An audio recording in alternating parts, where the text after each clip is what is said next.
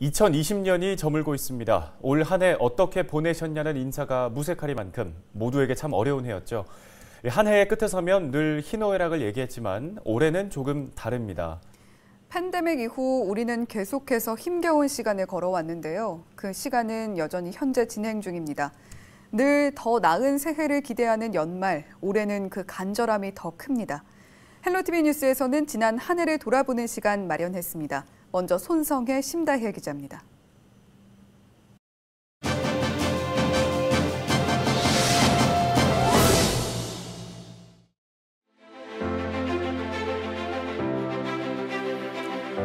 한 해를 대표하는 다양한 키워드들 살펴보겠습니다. 이렇게 보니까 1년 동안 참 많은 일들이 있었죠? 네, 그렇습니다. 이렇게 한 곳에 모아보니까 정말 올 한 해가 순식간에 지나간 것 같다 이런 생각이 드는데요. 이 키워드들 중에서 헬로티비 뉴스가 꼽은 첫 번째 키워드는 코로나19입니다. 코로나와 함께했다고 해도 과언이 아닌 2020년 마스크와 원격 수업 등 우리의 일상이 참 많이 바뀌었는데요. 지난 9월에 만나본 시민의 말을 먼저 들어보시죠. 아 그때는 얼마나 좋았습니까 코로나 전에는. 근데 지금은 뭐 아무것도 못하고 있잖아요. 원래 사람이 사람을 겁을 내고 있잖아요. 네, 코로나 전에는 얼마나 좋았습니까? 라는 말이 정말 가슴에 와닿는데요. 이렇게 마스크를 쓴 일상이 현실이 될 줄은 우리는 불과 1년 전만 해도 몰랐습니다. 중국의 한 지역에서 시작된 코로나19는 세계로 빠르게 뻗어나갔고요. 어느 순간 내가 사는 지역까지도 위험하게 만들었습니다.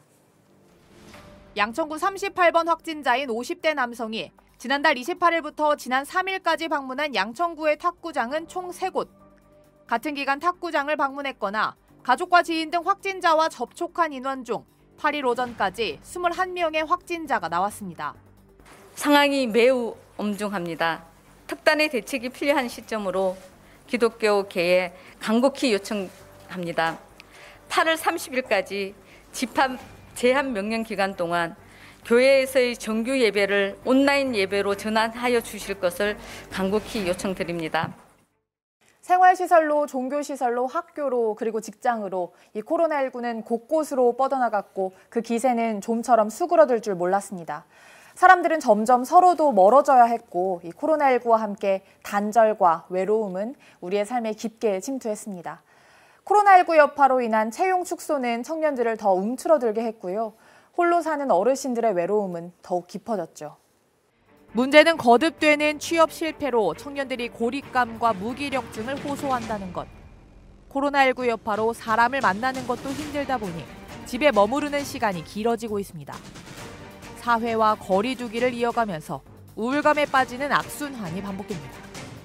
방에 처박혀 있으니까 그게 습관화돼. 침대 들르고 있다 보면 데리고 그러다 보 잠들고. 코로나19가 처음 확산됐던 그 계절이 다시 돌아왔습니다. 시간이 지났음에도 서로를 멀리해야 하고 또 마스크를 낀 모습은 여전히 익숙해지지 않았는데요. 두어 달 후에는 백신 접종이 이뤄질 예정이죠. 백신이 우리에게 희망이 될 수 있을까요? 이렇게 사람이 사람을 겁을 내고 있는 이 상황이 새해에는 부디 멈출 수 있길 바라는 마음입니다. 네, 맞습니다. 지금 우리 모두의 마음이 그럴 겁니다. 자, 그럼 다음 주제로 넘어가 볼까요? 이번에는 보기만 해도 환해지는 그런 영상인 것 같은데요. 자, 코로나19 상황 속에서도 벚꽃은 피었고요. 벚꽃이 날리던 그 시기에 우리는 투표를 했습니다. 21대 국회의원 선거가 지난 4월에 있었죠. 식물 국회라는 오명 속에 임기를 마친 20대 국회가 막을 내리고 코로나19라는 엄중한 상황 속에서 우리 사회를 잘 이끌어줄 이에게 소중한 한 표를 행사했습니다. 그리고 그 결과 이변은 없었습니다. 높은 투표율을 보인 은평에서는 현역 의원인 박주민, 강병원 의원이 당선됐습니다. 어, 은평이 좀 더 발전돼야 된다. 많은 사람들이 좀 자부심을 더 느낄 수 있는 은평이 돼야 된다라는 말씀이셔서 어, 그런 부분에 어, 부합할 수 있는 저희 공약들 어, 차질 없이 실현될 수 있도록 노력하겠다라는 생각을 강하게 가지게 되었습니다. 어, 재선 의원이 되어서 은평과 대한민국의 발전을 위해서 은평의 각종 현안 그리고 국회에서는 일하는 국회를 만드는데 최선을 다하겠다. 초심을 잃지 않고 최선을 다하겠다. 이런 말씀을 드리고 싶습니다. 양천구에서도 두 성 모두 더불어민주당이 가져갔습니다. 황희 의원이 재선에 성공했고 양천을 이용선 의원도 삼수 끝에 당선됐죠. 네, 아, 아주 대한민국도 그렇고 양천구도 그렇고 어, 앞으로 해결해야 되고 마무리해야 될 일이 매우 많습니다.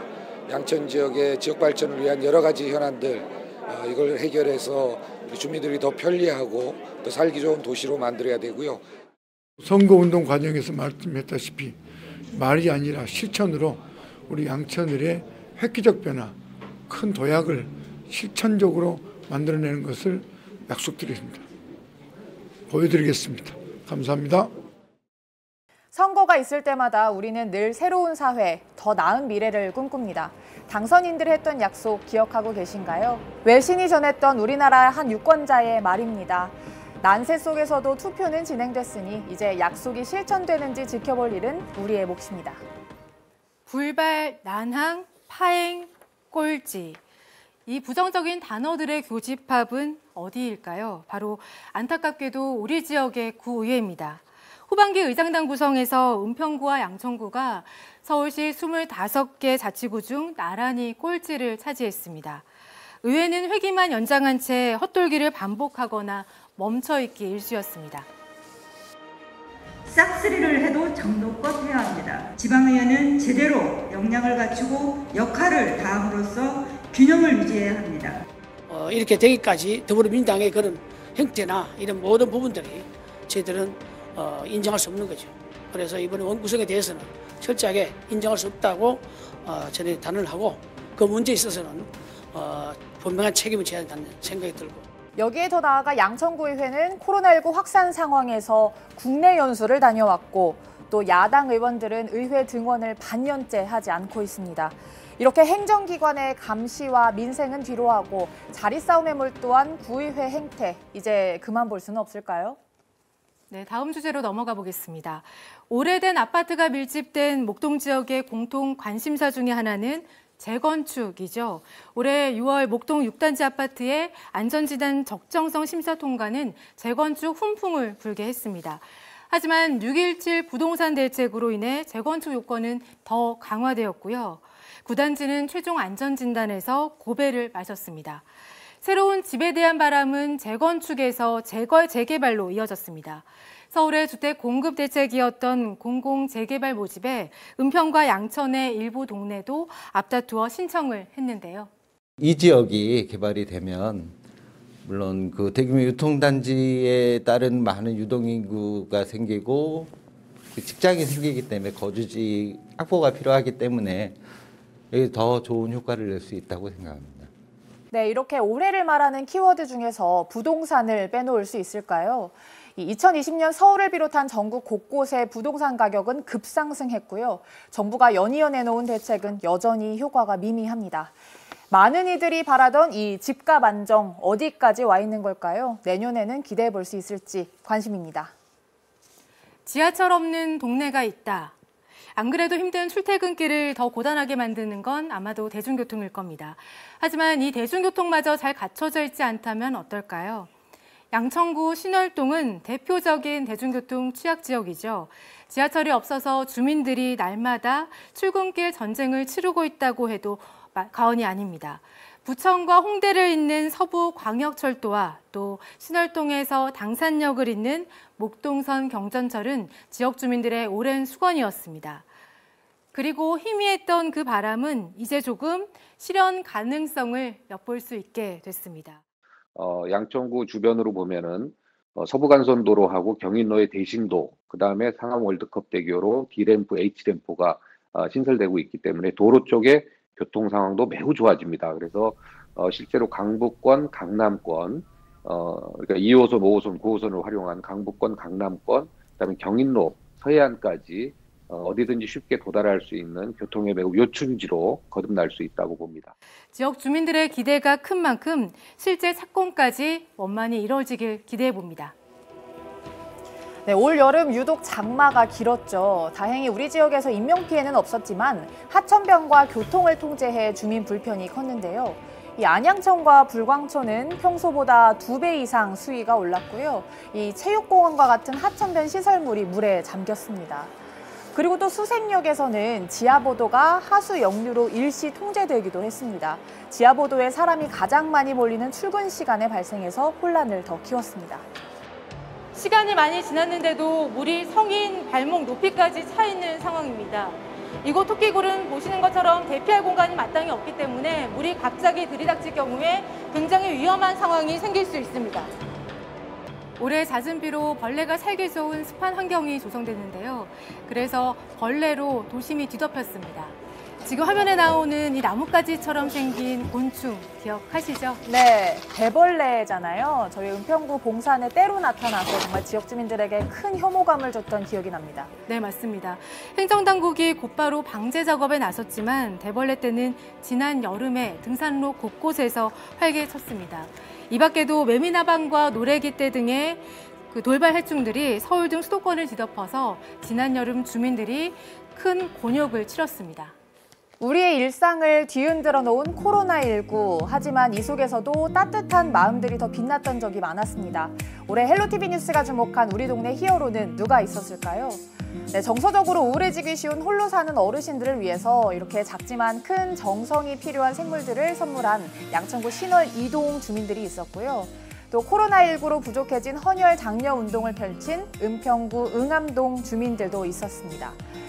그리고 폐지를 실은 손수레를 끌고 가다가 차에 치여 다친 할아버지를 도운 우리 선정관광고등학교 학생들도 기억하실 겁니다. 이런 상황 생기면 다들 핸드폰부터 꺼내들고 그냥 핸드폰이 먼저 나가잖아요, 행동보다. 근데 이제는 핸드폰보다 사람이 먼저 나가서 사람의 목숨 한 명이라도 딱 살렸으면 좋겠어요. 앞으로는 그 다친 사람이 어떻든 옆에서 손이라도 잡아주고 계셨으면 좋겠어요. 누구든.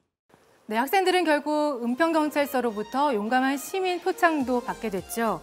이렇게 뜻밖의 상황에 갑자기 나타난 우리 동네 영웅이 있는가 하면 오랜 시간 주민들을 위해서 힐링 공간을 일구고 있는 분도 있습니다. 바로 은평 시민 김수일 씨인데요. 김수일 씨는 그저 봉사가 좋아서 30년 넘게 봉산에 나무를 심어왔습니다. 덕분에 봉사는 보시는 것처럼 이렇게 편백향이 가득한 주민들의 힐링 장소가 되었습니다. 누가 알아주지 않아도 그저 묵묵히 때로는 용기를 낸 그들의 행동은 많은 사람들에게 귀감이 됐습니다.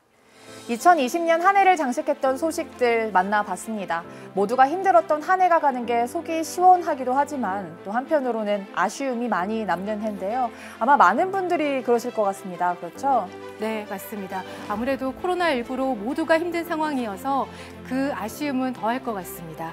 유난히 고단했던 올 한 해 마무리 잘 하시길 바랍니다. 헬로티비 뉴스 손성혜, 신다입니다.